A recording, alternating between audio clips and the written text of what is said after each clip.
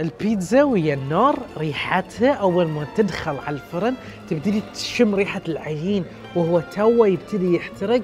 البهار الأعشاب داخل الفرن تبتدي تطلع وتشوف البيتزا تنتفخ. هاي من أحلى الشعور اللي موجود عندي في المطبخ. كل شوي لازم تقعد تفرها لأن النار من اتجاه واحد. فإحنا نحاول إحنا كطبابيخ نعدل البيتزا ونحاول نوزع الحرارة عليها. من أحلى الشعور اللي موجود خاصة إنك تعبت على العجين ونطرت تتطور والصوص قعدت تسويه تشوف هذه القرمشة قاعدة تستوي وتشوف الجبن قاعد يذوب.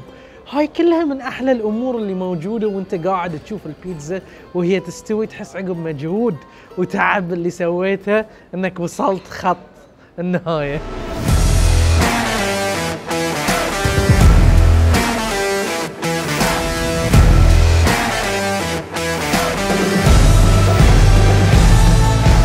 ليش عندنا بيتزا في المنيو؟ لأنها أسهل طبق الواحد يقدر يشاركه، وإحنا في التي كلاب دائما نحب الأطباق اللي فيها مشاركة، ولكن كانت من أصعب الأطباق إن نضبطها بسبب إن كل واحد عنده فكرة معينة على البيتزا، ناس تبيها إيطالية، ناس تبيها أمريكية سميكه وعليها جبن، وناس تبيها بحرينية عليها كل شيء، أو الناس اللي سووها في البيت فدورنا شنو اللي يمزج معاهم كلهم شنو الشيء اللي كان بينهم؟ لازم العجينة تكون جيدة جدا وسر أي عجينة هي الوقت.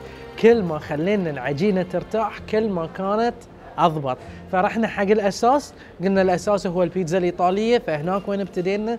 وخذينا راحتنا وخذينا وقتنا مع العجينة مع الطماط مع ال toppings اللي موجودة على البيتزا عشان نسوي بيتزا Tea Club. في فرع الأفنيو صارت عندنا الفرصة إن نكون عندنا أحسن الأفران حق البيتزا اللي هي الأفران الخشبية. فيبنا أحسن طحين يبنى أحسن خميرة وبدينا نطور عجينة خاصة فينا حق التي كلوب عشان نطلع أحلى منتج. الصوص الطماط خذينا وقتنا فيه على نار هادية عشان اللون ما يتغير يتم زاهي أحمر. وما في أشياء زيادة نبي نطلع لون طعم الطماط الصحيح فيها. الأعشاب اللي حطيناها فيها متوازنة. بعدين ال toppings على راحتكم أنتم تبون ال toppings مارغريتا تبون pepperoni والله تبون تسوون اللي أنتم تبون تسوونه بحريني style.